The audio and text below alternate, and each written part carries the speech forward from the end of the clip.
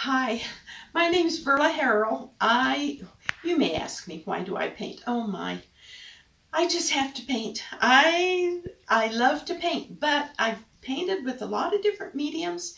But in the last couple of years, I have found some things that I've just kind of fallen in love with. And I just wanted to share it with you. Um, one of the things that I'm showing you today is the Faber-Castell watercolor pencils. I've used different brands, but I think these pencils have such strong, strong pigment that, and another thing about them, when you sharpen them, they don't break as easily. When you wet them, they don't break as easily. So I'm going to show you how to use those. But the important part that I want to show you is how neat they are to use on Terraskin. You know, because I teach, I try to get different kinds of things to test for my students before I have them do it. And so I wanted to try this Terraskin. And Terraskin is crushed stone, no trees.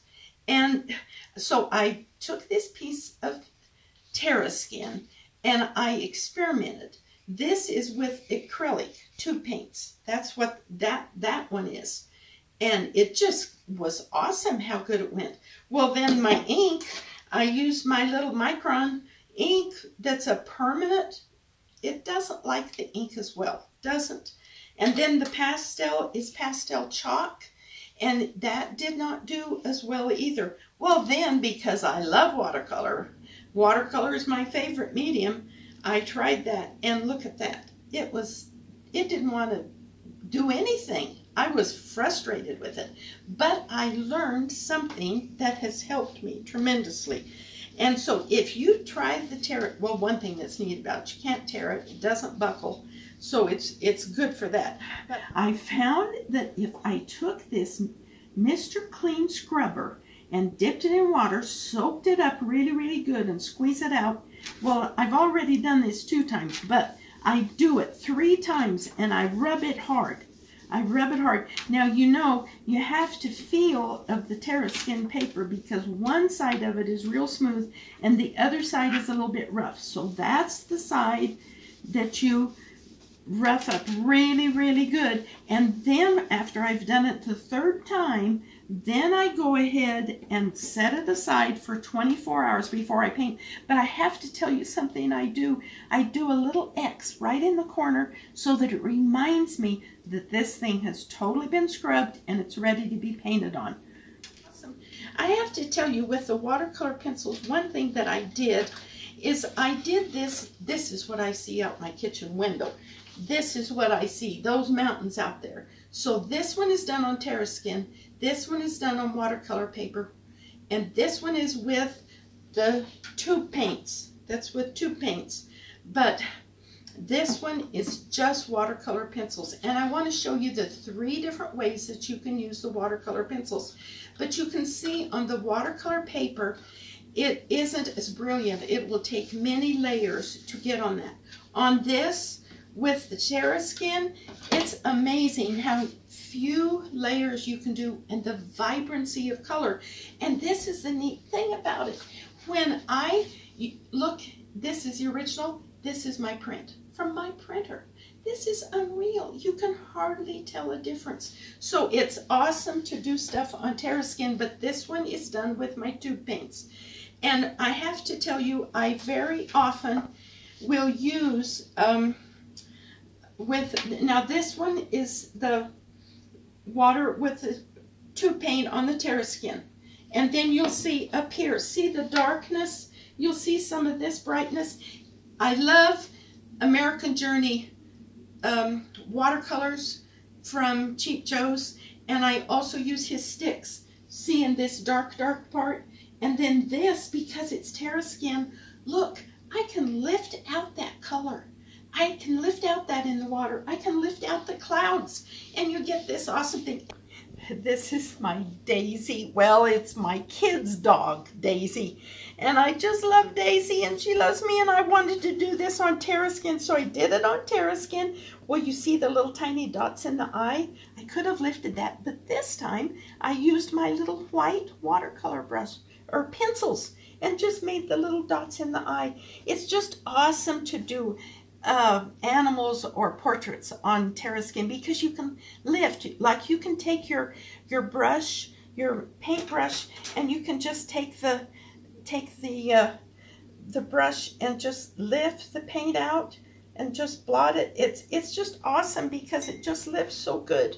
And just wipe it on your thing and then just lift out wherever you need to. Maybe lift out a little bit more on his little nose. Make a little bit of light on his nose. It's just awesome.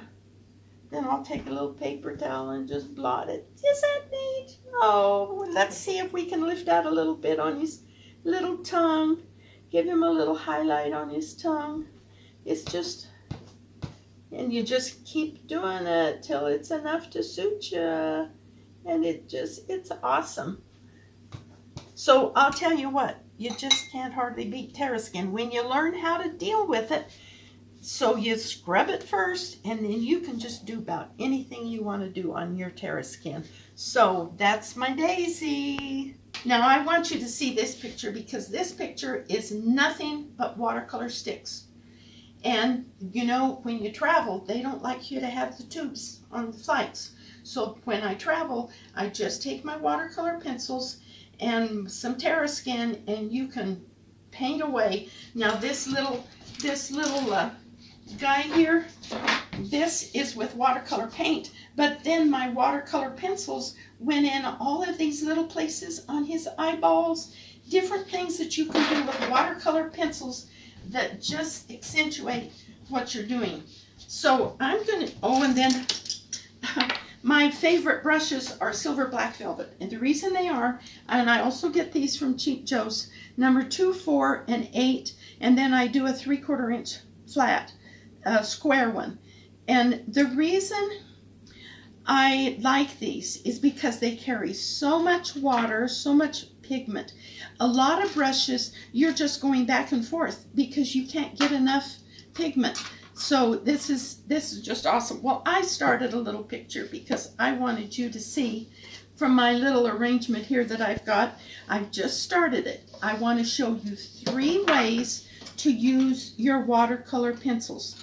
So there are three different ways. You can take this and you can do this flower sticking out here with it just dry. See, you're just doing it just dry. Or you can take your little brush and you can wet this brush and then wet your on both sides of your watercolor stick and then you can come in here and you can paint like so with your watercolor brush. Then the third way that you can use this that's just awesome, just take your watercolor pencil and roll it in the paint. And then you can come up here and look at the vibrancy of color you get. And you can just move that thing around and draw that. It's just awesome. Now you can see that usually when you paint watercolor, it'll, as it dries, it will fade a little bit. You can see here where I painted some orange. I'm gonna, I'm gonna bring this in here because some of those little flowers on my table are really pretty orange. So I'm gonna wet this orange and I'm going to come in here and I'm going to brighten these up.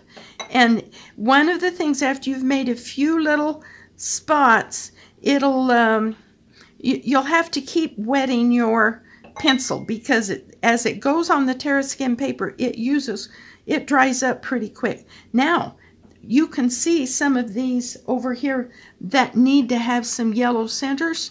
I'm going to take some of this yellow and I'm going to wet it. Oh, look at this down here, this little one that I started. It needs to have some yellow right in the circle, right in the middle.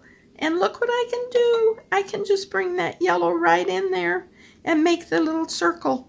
Um, let's do that over here and we'll we'll bring this in. Now, what I'm what I'm going to do because we need to make sure that this bottom thing is not floating. I don't like to have my stuff float. It needs to have a base. So I'm going to, I wet this pencil just like this. Soak it up good. Twist it around so it's good and soaked. And I don't, I don't blot it or anything. I just go right on here.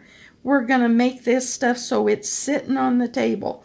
So we're going to go right underneath this little doily and we're going to come here. Then I'm going to come back in with my brush and I'm just going to very, very carefully, very, very lightly touch the Terra skin. I want to leave it dark right underneath, but I don't want to have hard edges further down. So you very softly, you don't have to hurry, take your time. You don't have to hurry, just relax. Just take your time and just blot that and just smooth it out. But leave it nice and dark. I would like to pick this up and show it to you, but I can't do that because Terra skin, while you're working, must be continued to lay flat. If you don't lay it flat, the stuff will run and you'll have a mess.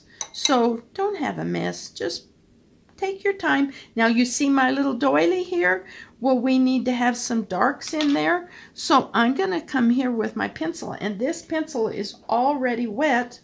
So I'm going to come in here and I'm just going to make some of those holes that shows my table underneath because then it makes my doily pretty. I love to do crocheted things. You you can do all kinds of things when you've got your Terra skin. You just choose, you know what, paint what you love. If something inspires you, paint. You know, that I have to tell you what's really neat with these watercolor pencils. This is really good for you to go sit outside and draw on a little piece of Terra skin and just draw it. Just draw it. Just, just enjoy drawing.